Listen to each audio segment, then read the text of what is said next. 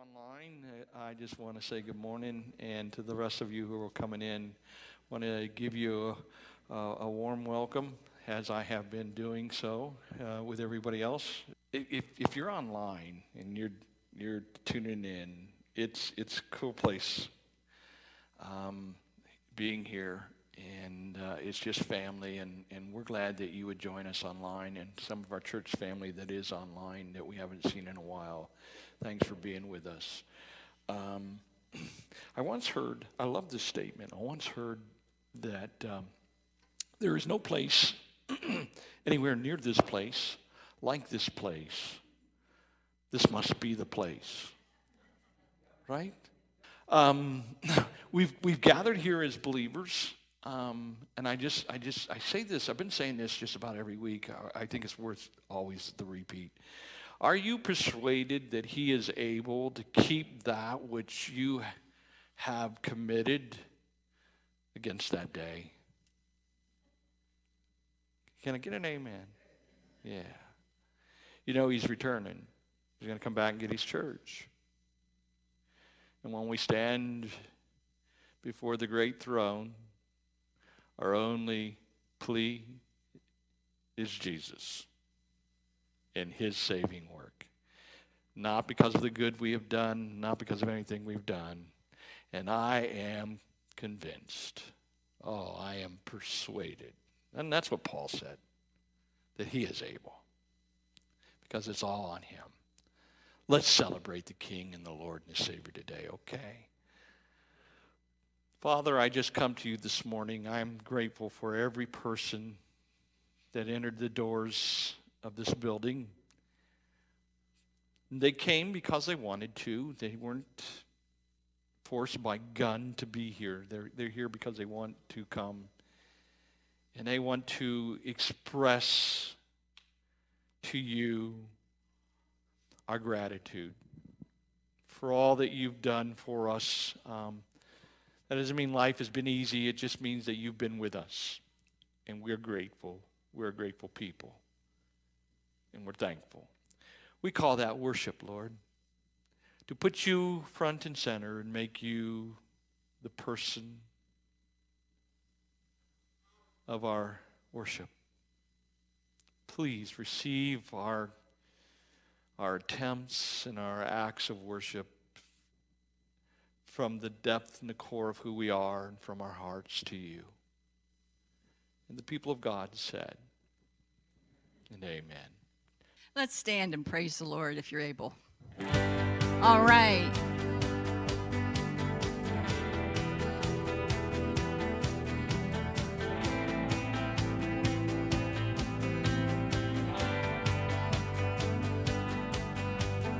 Who am I that you are mindful of me? That you hear me when I call? Is it true that you are thinking of me? How you love me? It's amazing. I am a friend of God. I am a friend of God. I am a friend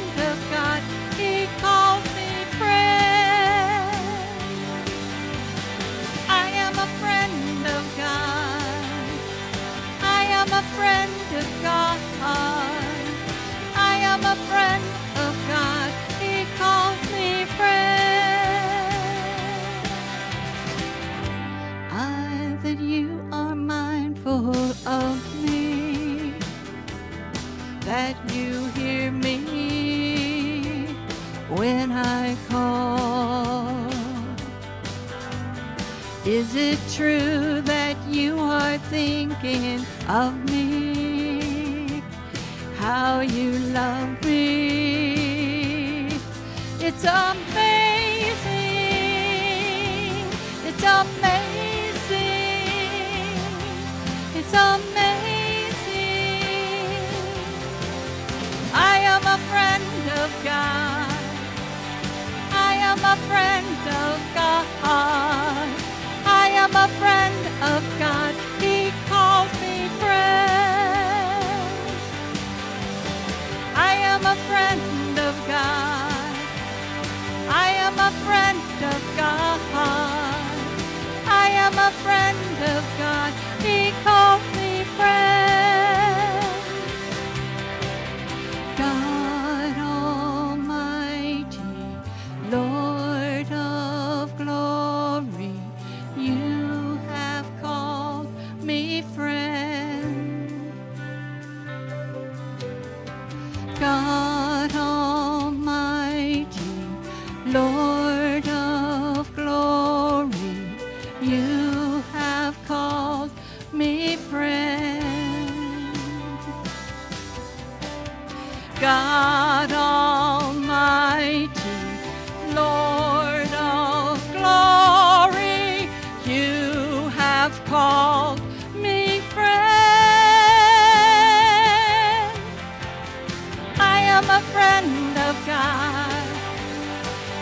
Am a friend of God.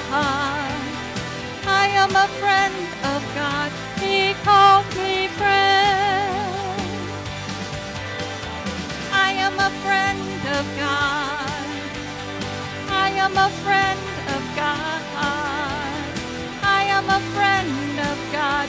He called me friend. I am a friend of God. A friend of God. I am a friend of God. He calls me friend. I am a friend of God. I am a friend of God.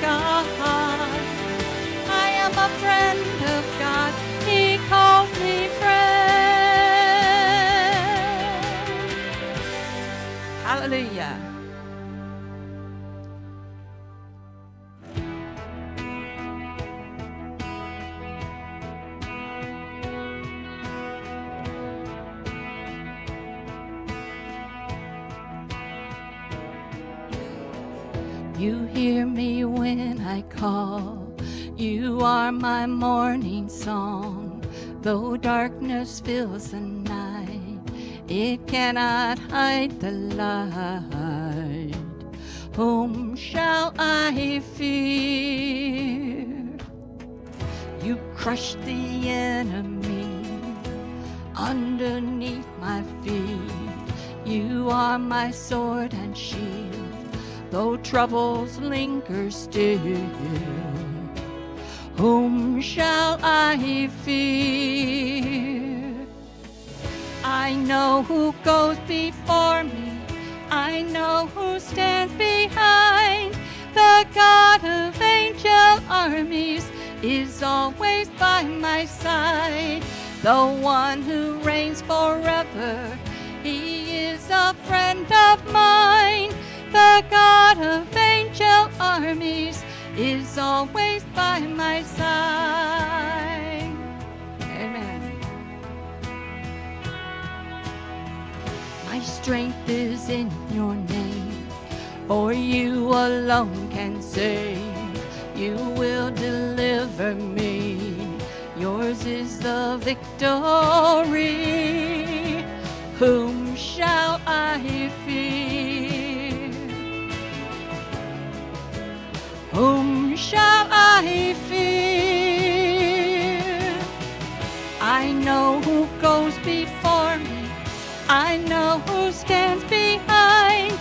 The God of angel armies is always by my side.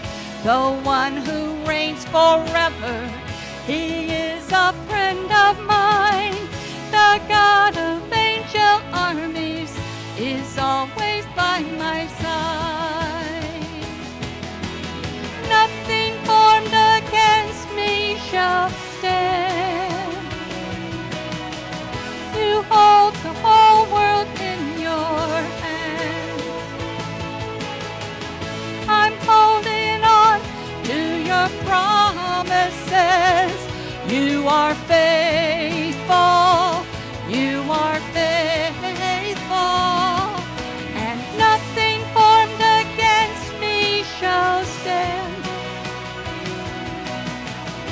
you hold the whole world in your hand. I'm holding on to your promises. You are faithful.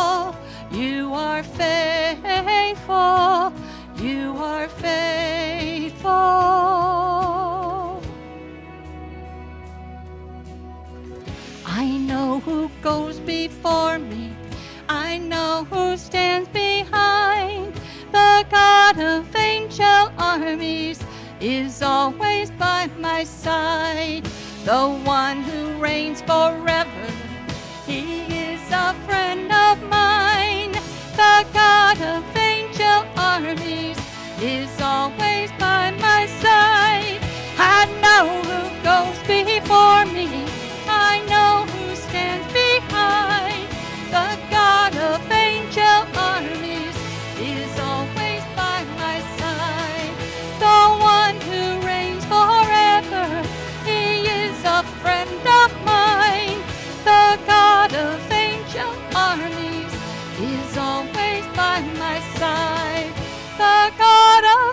Angel armies is always by my side.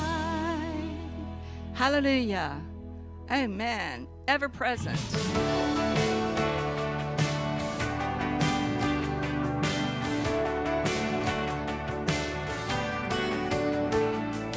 What a fellowship, what a joy divine, leaning on the everlasting arms. What a blessedness, what a peace is mine, leaning on the everlasting arms. Leaning, leaning,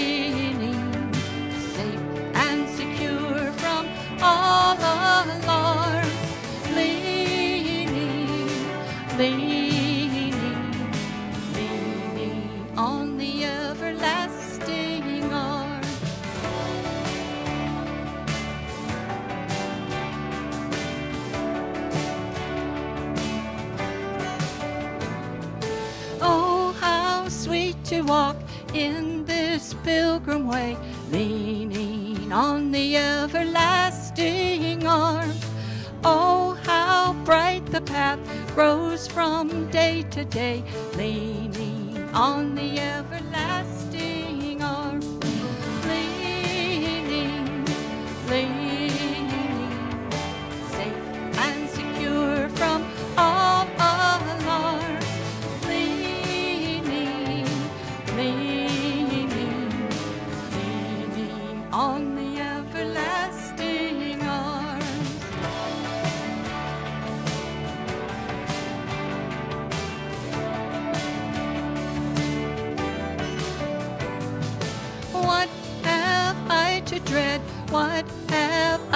to fear? Leaning on the everlasting arm. I have blessed peace with my Lord so near. Leaning on the everlasting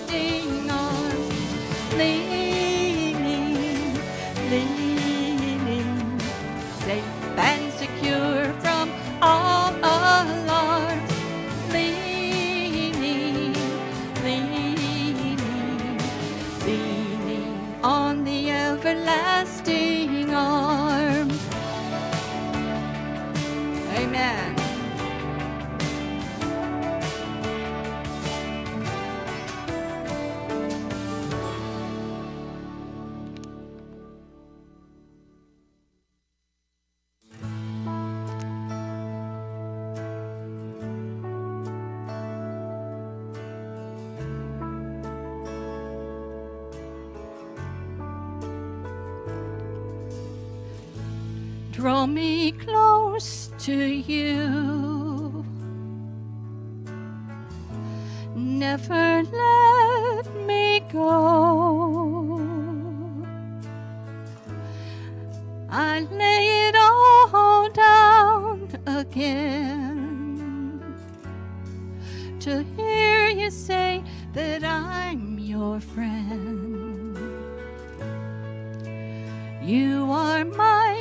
Desire.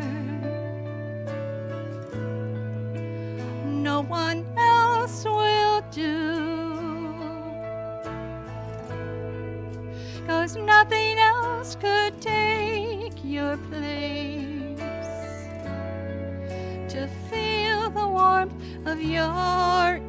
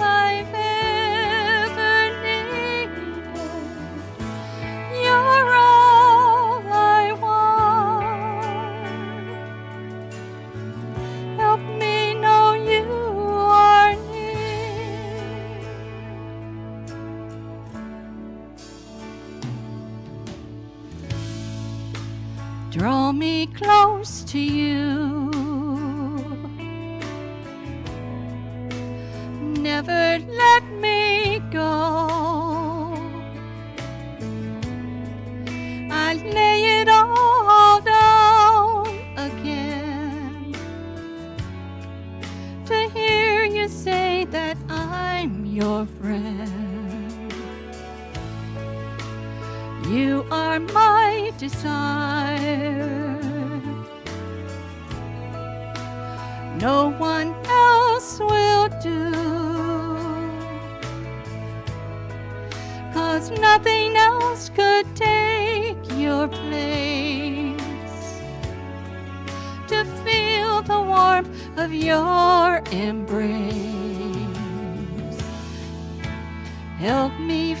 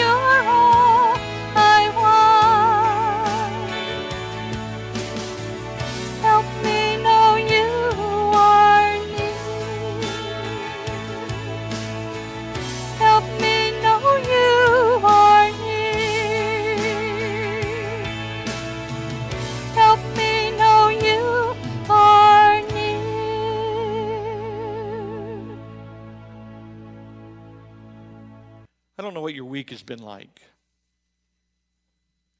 But what I do know, what I'm absolutely certain of, is that you didn't go through the week by yourself.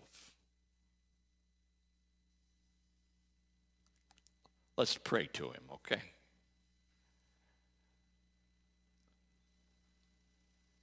In the name of the Father and the Son, Jesus Christ. Oh, what a matchless name. In the name of God, the Holy Spirit, I seek your face this morning, Lord, and I've been given the honor and privilege of being the person to um, voice our, our appreciation and our thanks and our thanksgiving to you on behalf of all of these who tuned in with us online and who've gathered in this room. And so I just open up, Lord, and I just say to you, hear me when I say this because I don't say it of my own accord. But God, we just know that you are an awesome God. We are certain of your love for us. We are in awe of, of your friendship. Oh, that we could be a friend to God. We, um, Lord, we, we are just taken by your willingness to always be with us. You keep your promises always, and you, Lord Jesus, promised us that you'd be with us to the end of the ages until earth as we know it is no more. And then you'll still be with us. And you were the one who walked with us this week. You're the one who went there into the hospital rooms with Claire. And you're the one who's been the great physician with those in our congregation who's needed your touch physically. You're the one, Lord God, who, when we our spirits are low and our emotions are depressed and we find ourselves wondering if there's anybody that cares from time to time. We're like the prophet from time to time. We think we're the only one. When the truth is, is we're not. Because you're the one that has gone with us through this week. We have managed to eat our meals, pay our bills, most of us, because you have met our needs.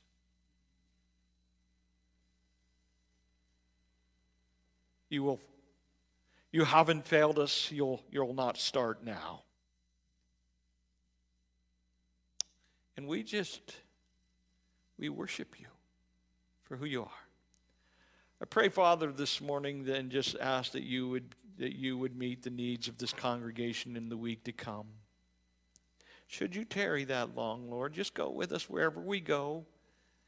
I marvel and I'm in awe of the fact that we can approach you. We don't need a priest. We don't need a pastor. We, Lord, you, you rent the curtain to the holy, to, to the approach of the holies of holies that we can come before the throne of God anytime, any place, any day, and have your attention. How can that be? Thank you.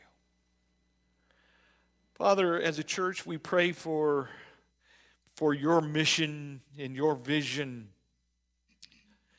that is for each one of us personally in our lives. And when I say that, Lord, I'm thinking about our neighborhoods. You know, those people that live to the right of us and the left of us, and the ones that live across from us, and the ones that live behind us. You've called us to be salt and light.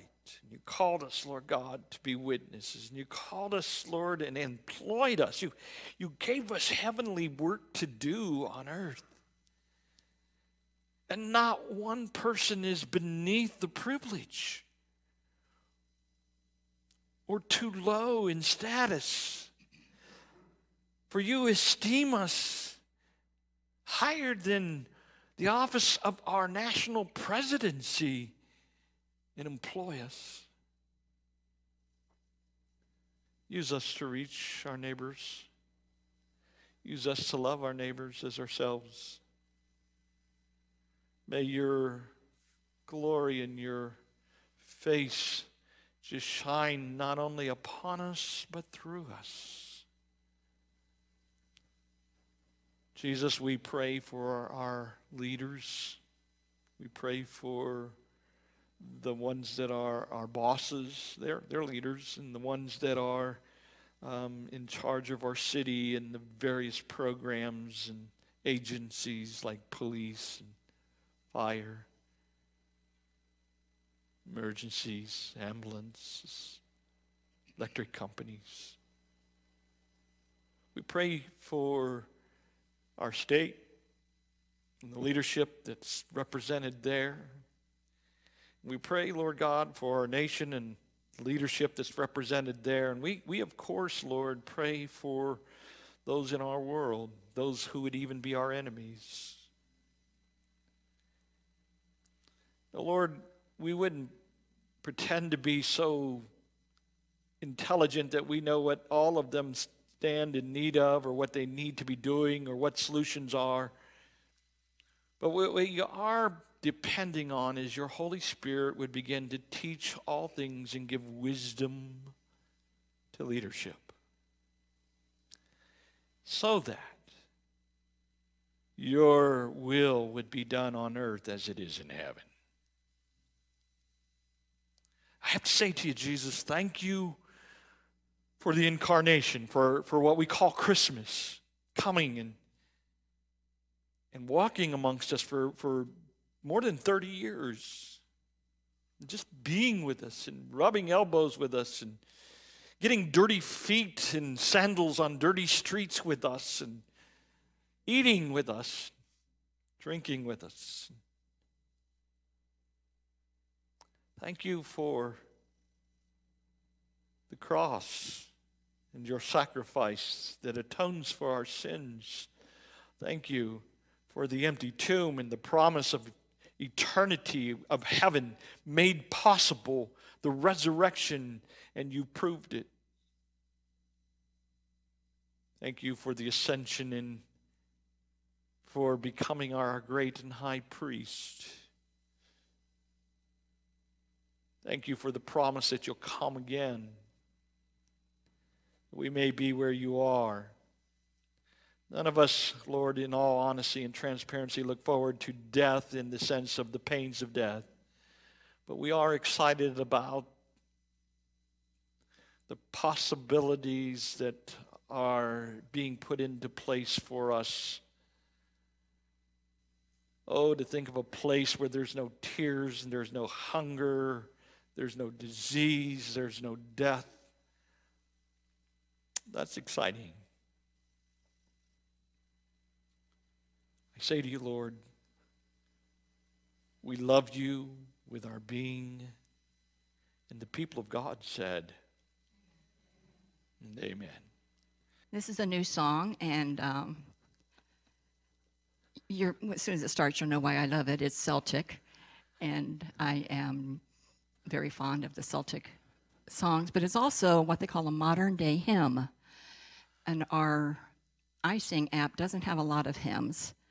So I jumped on this one, and it's just got the most wonderful words.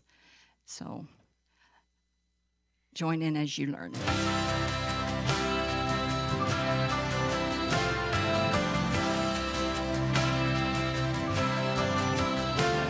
What Love could remember no wrongs we have done.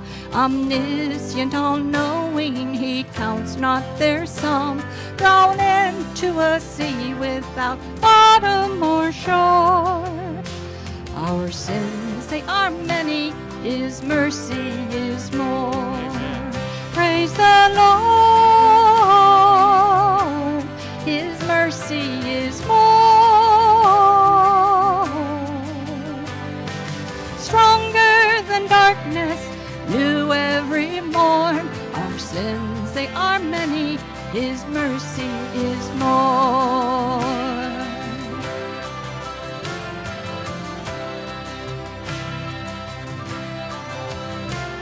What nations would wait as we constantly roam? What father so tender is calling us home? He welcomes the weakest, the vilest, the poor. Sins, they are many, His mercy is more. Praise the Lord, His mercy is more. Stronger than darkness, new every morn. Our sins, they are many, His mercy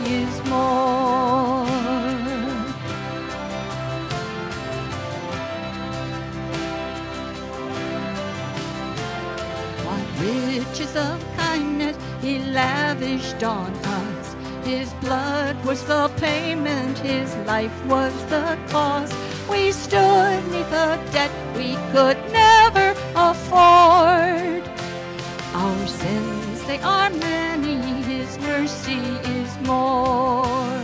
Praise the Lord,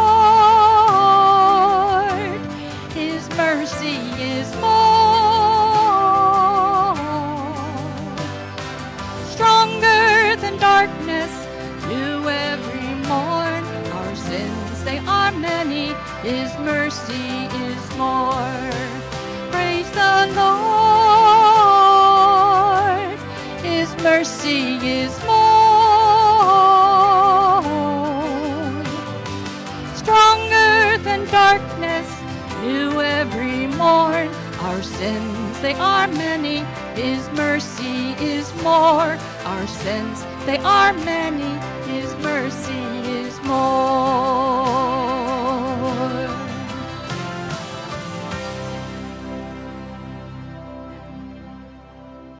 Um, God is good all the time. And all the time, God is, yeah. I, um, I, I think today, I'm going, I think, wrap up today. And I know I say this every Sunday, and I never am brief, okay? So I don't know today if I'll be brief. I, I hope to be brief because today I want to also um, because I didn't want to come. I didn't want to come here this morning and not exalt our Lord and Savior Jesus Christ. That's the whole purpose of coming here. It is for us to get together and worship the Lord together. God is worthy of our praise. In fact, Scripture teaches us that God inhabits the praise of His people. The psalmist wrote that. I'm just, I'm just, you know, that's where God is. Um, he said, where two or more would gather together. I, I'm going to be in that mix in a special way. And so this is what this is really all about. So let's exalt the Lord and Savior. We are on a, um, uh, this is part three because officially it became a series um, in the third sermon, which was the introduction. Um, but really, this started five weeks ago when I was in the book of Revelations, the 17th chapter, talking about um, reaching um, the lost back then.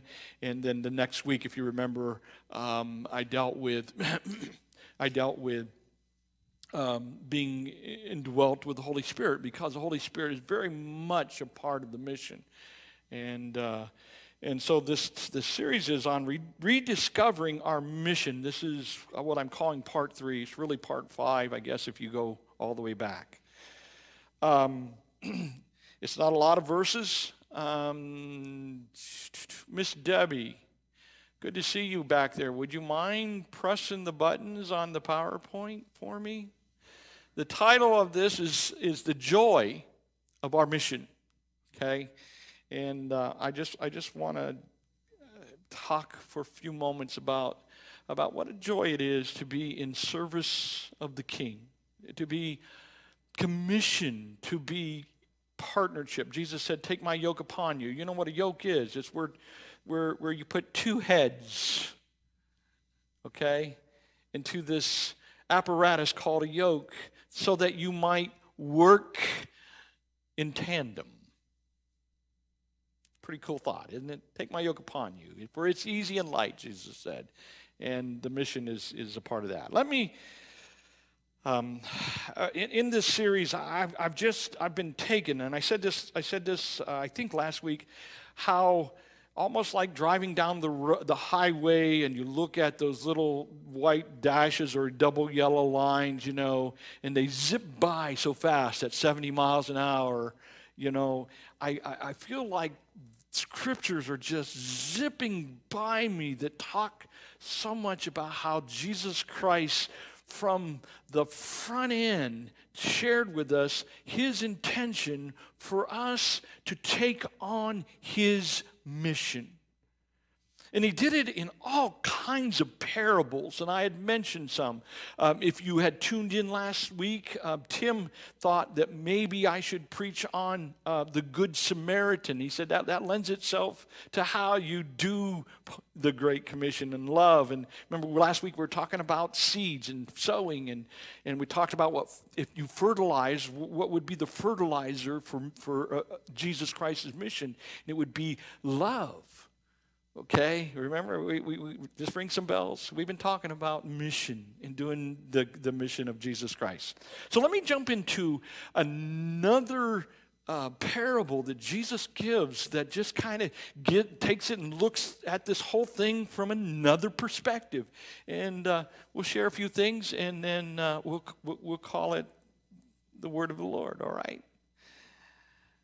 It's found in Matthew, the 18th chapter. It's a familiar text. Many of us have heard it. Um, I think it's Mark also makes mention of um, the parable of the 90 and 9, okay? And uh, I'm going to be in Matthew, the 18th chapter. Uh, I like it because it's, it's just four verses. And boy, you would think four verses would be like a three minute sermon, right? Right? If my wife was preaching it, of course, she does Reader's Digest condensed versions all the time. Let's read it together. Um, and it's up, up for you to, to read along with me. Here's uh, the words of Jesus. This is what Jesus said For the Son of Man has come to save that which was lost. Giving us his mission, right, right, right up front. There it is. There's his mission. This is what Jesus came to do, is to save that which was lost. What do you think, he says? Uh, if a man has a hundred sheep and one of them strays, does he not leave the 90 and 9 and go into the mountains and seek the straying one? And if it happens that he finds it, truly I say to you, he rejoices more over it than over the 90 and 9 which did not stray. Even so, it is not the will of your Father in heaven that any, any of these little ones should perish. Father, I've just read your word. It, it's, it's brief. Jesus, you, you just had a way of saying things that just make the point. And so, Holy Spirit, help me not to mess it up. And I, and I pray, Lord, that you would help me, because I can't do this by myself, help me to help us, Lord, to just take away from this a great joy in the task that you've called us to. Be honored, be glorified, be magnified. In Jesus' name I pray. Amen. Amen. When I started this series, I, I, I got to tell you, I've recognized, I relate to the angst that comes with talking about the mission. It's like, here we go again. You know, I got to go knock on doors. I got to go learn the four spiritual laws. I need to learn the Romans Road. And there's a host of, of pamphlets and booklets that um, when I came into Christianity, it was in this, it, um, um, it was in the late 70s, early 80s when I became a Christian, wasn't always a Christian. Uh, when I came to Christ, and I've seen, you know, uh, the Billy Graham evangelistic thrusts, and I've just, you know, I've had pastors take me through, and, and every time pastors get up to preach, I, I remember the sense and the angst of, oh. And I got to be honest with you, there is nothing joyous about it. And I think that's where a lot of the church, you know, we just get an angst. And I said something last week that I hope you picked up on, and that is, is that not all of us are, are called to be evangelists, but all of us are called to be witnesses. And there's huge difference. Okay? And witnessing is, is about the relationship that we have with Jesus and that he has with us. And it's about us sharing good news with other people. Here is a story of, of, a, of a man who, um, who, who had a hundred sheep, okay? And Jesus, before he gets to it, he, he, he reminds on the front end. I love this about Jesus. On the front end, this is, this is what I need from my followers. This is, this is what my followers will be about doing because it's about what he came to do. He said, The Son of Man, referring to himself, was his favorite term for himself, has come to save that which is lost. Then he asks the question, what do you think? If a man has a hundred sheep and wanted to go to the mountains and seek the straying one. Now, well, the first thing come to my mind when I was reading that this morning, it's not, it's not, it didn't hit me when I'm preparing for this, but, but this morning as I'm reading it to you is like, yeah, but wouldn't it be better and worth more if they were cattle instead of sheep? Okay? But I love it that it's sheep then, even if you use that analogy, because Jesus, before he said what his mission was in the verse before, and he follows it up at the close of this section, he calls his sheep the little ones. Those are terms of endearment. Now, some people think he's just talking about children. He's not talking just about children, he's talking about his children. That's you and me. It was a term, it was very much a term to, to, to express his affection about how he feels about his greatest creation. That's people. And he's, if you, if you read in front and back of, if you got in and, and, and in its context and read the other parables all surrounding it, you would understand that he would continue to talk about reaching the lost and, and, and that which caused, caused them to sin. But, but here he's talking about if there, a man has a hundred sheep and just one of them strays. You've listened to me before and you've heard me say that, that Jesus Christ would have gone to the cross if it meant only rescuing one person in all of, of humanity's history. He would have. And how do I know that to be true? Because I'm reading what he says here. What does that, what does that translate out to for you and me? That means that he loves you That means, guys, that, that you're, you're God's son, and, and man, God is like going, that's my boy. That means, ladies, that, that you are God's daughter, and He's going, He's going, look, that's my girl. And they are all that to me and so much more. Well, what do I, um, what I want to share with you is basically three things, and they're really questions um, that I want to share uh, about about the mission. And one is, is I, I want to ask you this question: Do we share? Do we share our master's mission? I mean, are you are you do you do you think about it when you get up in the morning and you go to work do you do you stop or or you get up in the morning and you you have to go down to the supermarket and you know that you need milk and bread. If you if you got children at home you you don't go out and get in the car without stopping for milk and bread. That's just a given. Um, you need to always have cash in your pocket because you're going to stop for milk and bread because you know, you're always out when you have children. David that's a that's a time for an amen okay? All right. Um, it, it, that's just how it is. And so, what the real question is, is that when when we read in Matthew, when he, Jesus gives us the Great Commission, as you are going, make disciples, be a part of the mission.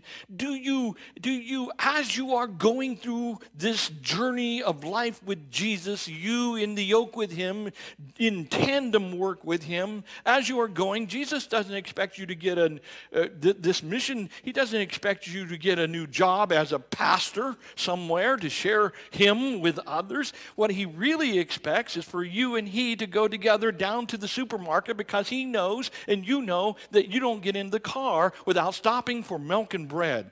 And there's somebody there who's selling milk and bread who may or may not know the glorious, wonderful relationship and should the Holy Spirit in that stop at Kwik Trip, that's a good place to go, David, at Kwik Trip, because the prices are good, it's a good place to stop that if Jesus opens the window and the conversation opens up, you will be happy to step into that conversation.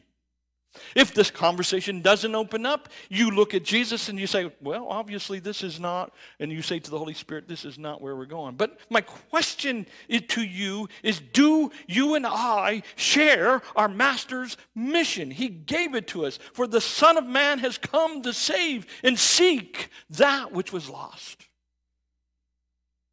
His whole purpose for the, of the incarnation was to come and save the lost if we know the heart of Christ is to save the lost, do, uh, does it stir us to the core of our being to help others to know the joy of, of our salvation, of the Lord's salvation, of what we have with Jesus? We live in a nation right now who is probably devoid of hope. You and I live in a time in the church when we have what they're looking for.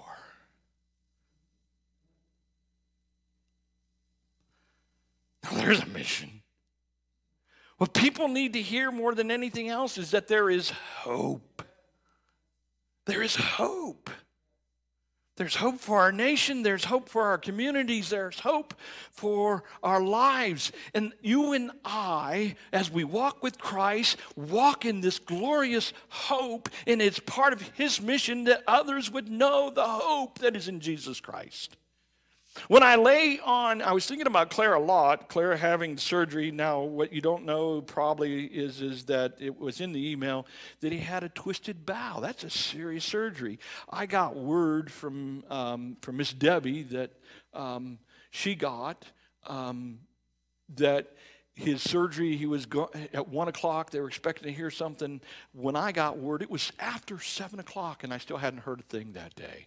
And by the way, the um, I told you, Pastor Judy, when you started it, that I think that was on Wednesday. He actually didn't have his surgery. They put it off till Thursday. And I keep, I keep thinking about how when I had my surgery last, last summer, when I'm laying there on, on a table and I'm, I'm wanting desperately to pray for the doctors, not because I'm afraid of dying. And I thought, you know what, Lord, this is probably the greatest scenario ever because you know I'm a big baby when it comes to pain. But they got me, they got me hopped up on drugs now. They're going to put me to sleep here in a second.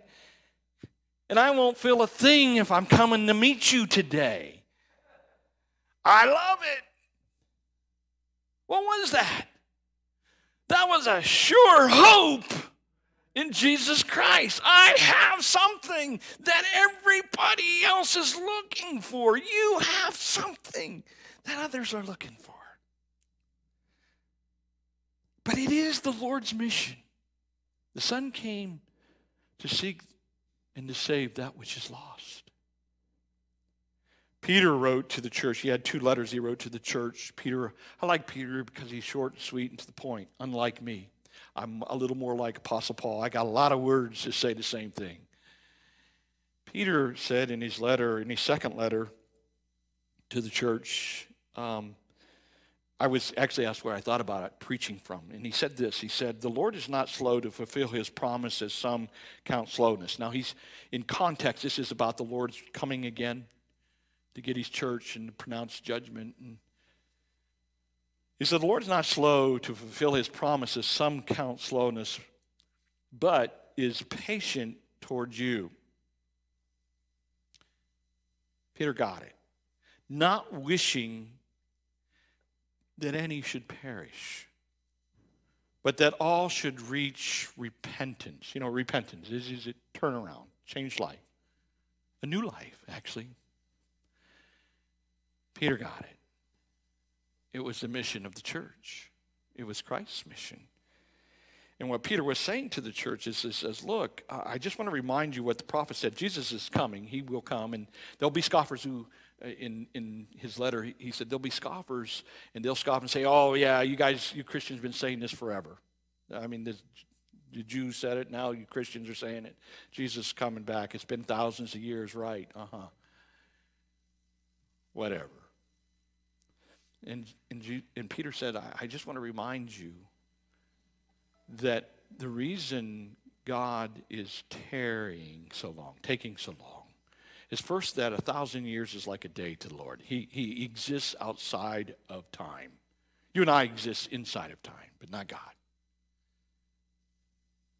And he said, and a day is like a thousand years. You, you know, I, I, I, can't wrap my head around this, but it's, it's, it's a reality um, that one, one day we'll enter into eternity where there would be no real passage of time because time is just the marking of, of what we call the sunrise, the revolution of the earth around the sun. And we mark that, and we have mornings and nights, and God created it. And at one point, God steps into history in the person of Jesus Christ. And so Paul's writing here, and he says, I, you know, don't get all, sh-. he was telling the church, don't get all worked up, you know, because they say that and they scoff and they laugh at you. He said, um, I just, I need to remind you, you know, that a thousand years is like a day and a day is like a thousand years for Lord. Um, but God is coming and he will bring judgment. and that day will be hastened. But he said, God is patient and God is long suffering, and God has put this off a long time because there's a lot of people who need the Lord. And the whole reason that God sent his son, Jesus Christ, was to seek and save the lost. That's the mission. Second question that I have for you not only do, do you share the Master's mission, but do we share the Master's burden? I, I, it's fascinating to me when I study about shepherds in the day of Jesus' day and then King David's day, when you go back a few more, uh, couple more thousand years, you go back and you, when King David was a shepherd boy, and uh, um, it was a shepherd, and Jesus, Jesus liked this, this, this whole concept of being the great shepherd, the good shepherd, and calling us his little ones. You know, I mean, who doesn't think of lambs in a fond way? That he would leave, because that's how it worked in those days. They didn't have electric fences to keep the critters, the dangerous critters, the wolves and such out. He would leave the 99 and go and seek the lost. Um, he was he was so burdened that he would leave the 99 and went on after the lost sheep.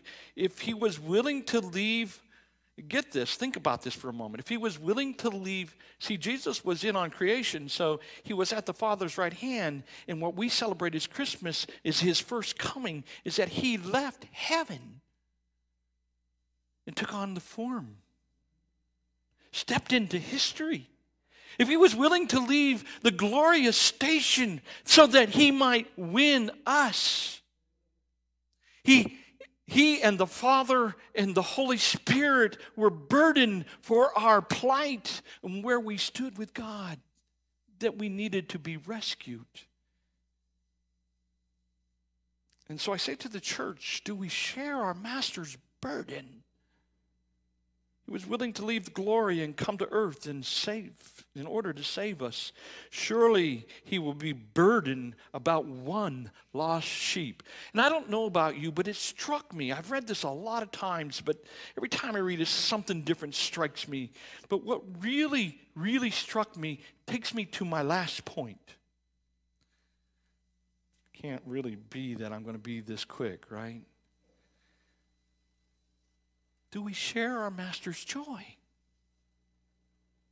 Did, did, you, did you happen to catch it when I read it to you that he had more joy over the one found saved sheep than for the 99 who didn't need saved? Did, did, you, did you pick up on that? He, he didn't say as much joy in comparison. He said more joy.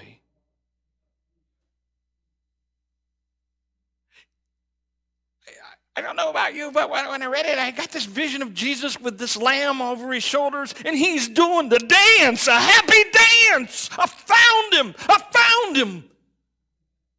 And when he looks at the other 99, it's good to have you, but he's not dancing about them, he's dancing about the one. And when we look at it in our humanity, we, we think of it, just, just pretended that, uh, you know, he's daddy. He's certainly big brother. And, and it's like, I don't know about you, but it makes me say, well, that's not fair. Don't I matter?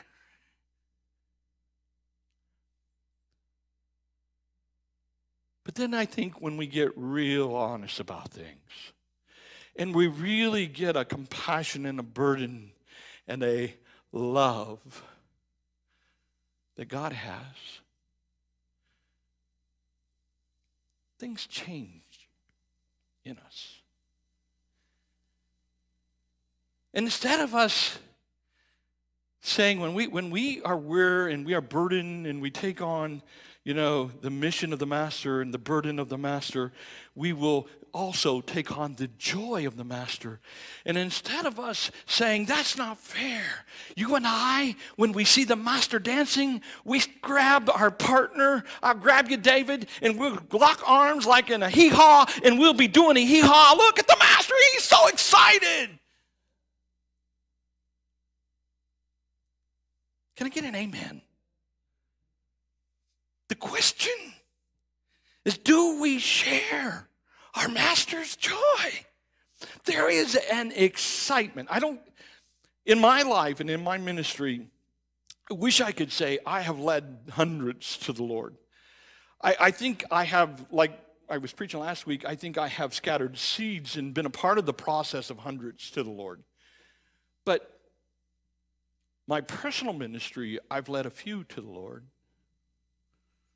probably could count on two hands that I have personally. Not everybody gets to harvest, you know, gets to pick the fruit. That's God's job, anyhow, right? But all of us get to be a part of that. And when we see it taking place, it just becomes so natural part of us when we share the master's joy and, and that he's so excited. And, and when we read other parables it says that all the angels are having a party in heaven over the prodigal son. We get we get pretty worked up and excited ourselves.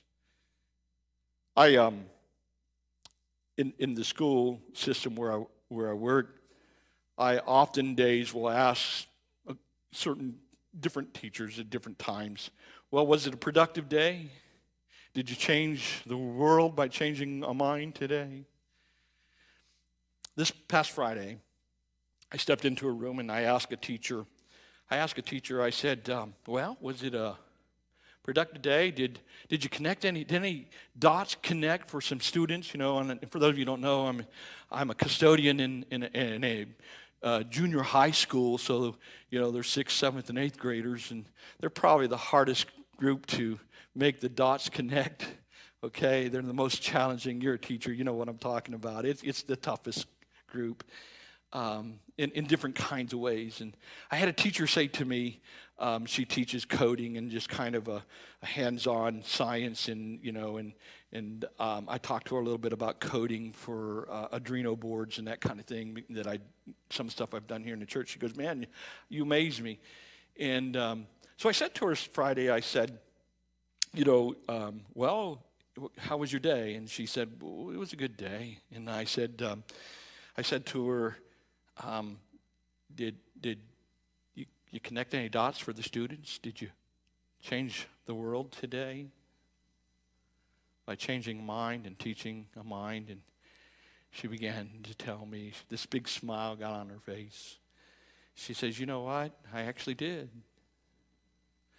Said, since I started, since school started, she said, I had a young man who, um, you know, he just, she said, I don't I don't want to say he's a troublemaker, but, but he would just, uh, you know, and so I, I kind of filled in the, the vernacular for her. I said, well, he just was disruptive. She goes, yeah, he was just, because she didn't want to say anything negative about him, and she wanted to be positive. and she said, and um, she said, I sat down with him and, and started explaining. He started writing code, you know. Um, David, you know what code is. you know, it's, it's this computer language that makes things work. And he loved it. And she said, He has been like on the edge of his seat. She said, He asked me, she said, Do they, do they pay people a living to do this? And she said, Yeah. She said, He's like become my star student.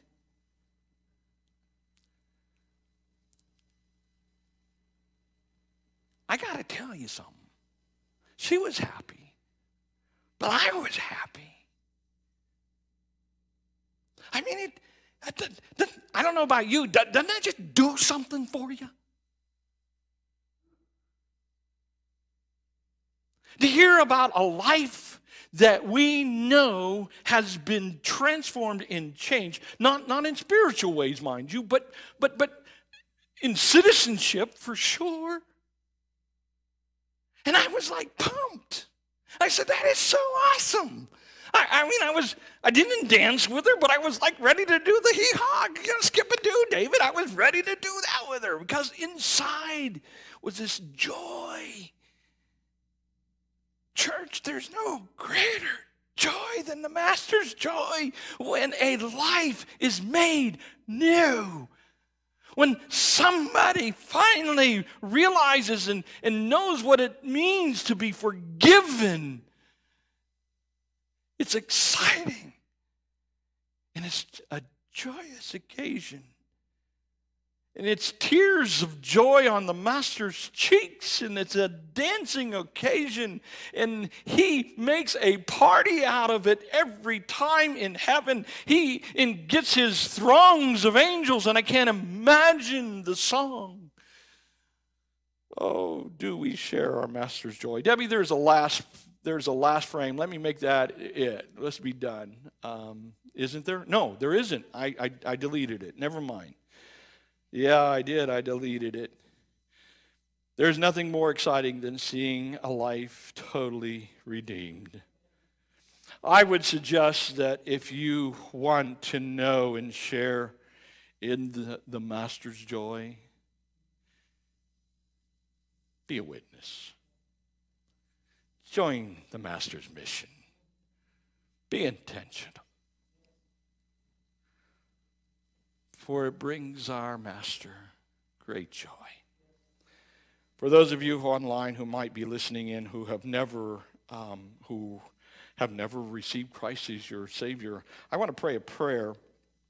I want to pray a prayer for the church, and I want to pray a prayer for those of you who might want to know a life of redemption.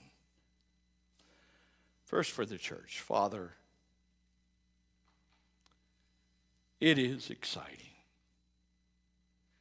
In the educational realms and in the spiritual realms, more exciting to see lives turned around. I spoke to my 17 year old granddaughter who's on a nine month mission trip, and just to hear her excitement about being with other believers of different denominations and just working as a team. It, it made me just want to join her. I don't know how, Lord. In fact, I, I'm sure I cannot do this, only you can. To convey and communicate to the church that it has never been your plan for there to be an angst when it comes to sharing you and your love and the good news. To be a witness, to be sensitive to you and Holy Spirit, to not be and and I think because our reaction to individuals in the church who have been actually in, in your face and annoyance. But when we're led by you, Holy Spirit, it is always the perfect time. You won't ask us to do anything before time. But I'm praying that there'll be some conversations that happen even this week that causes us to remember the great joy of helping other people hear the great news. Lord, for those who may not be in the church and are tuning in online, I, I would just, I, I want to lead them through this prayer because I find it amazing how simplistic it is to have our sins forgiven simply by coming to you, Lord Jesus, and confessing to you, saying, You know, I know I'm broken. I know that I stand in opposition to God, and that I have sin in my life. Doesn't make me different than any other person ever born into humanity, for all of sin. But I want to be different. And I am told, Lord, that if I ask you for forgiveness, you will come into my being, you will transform me, you will make me new. I'll still be who I am, but I'll be different. And you will begin a journey with me. You will forgive my sins and throw them into the sea of forgetfulness to remember them no more. Something even I cannot do, you can. And I want it. So I confess you as Lord. I confess you as Master. I confess you as Savior. Save me, Lord, as only you can. In Jesus' name I pray. Amen and amen. Present.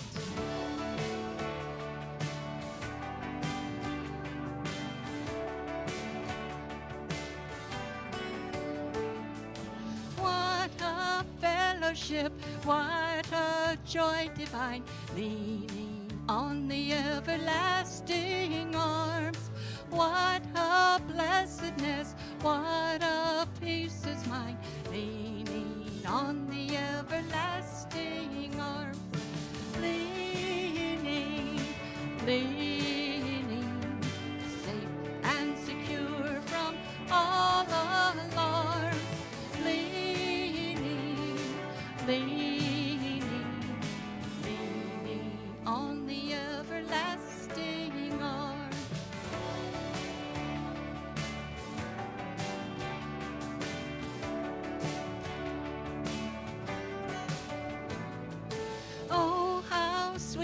walk in this pilgrim way, leaning on the everlasting.